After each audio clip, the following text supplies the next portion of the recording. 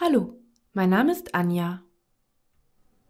In stark eutrophierten, das heißt mit organischen Substanzen angereicherten stehenden Süßgewässern findet man viele Einzeller, Protozoen, unter anderem auch das Augentierchen Euglena, oft in großen Massen.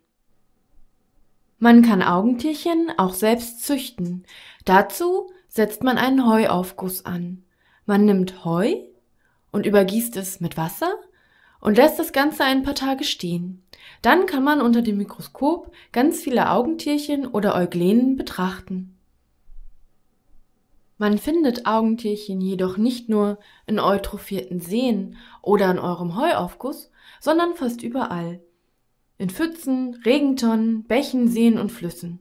Überall, wo es ein bisschen Wasser gibt. Dabei kommen sie, wie schon gesagt, meist in großen Massen. Den kompletten Film und viele weitere findest du auf www.sofatutor.com. Über 7000 Lernvideos erklären dir, was du für gute Noten wissen musst.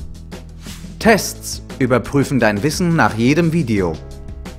Echte Lehrer helfen dir im täglichen Live-Chat sofort bei deinem Problem.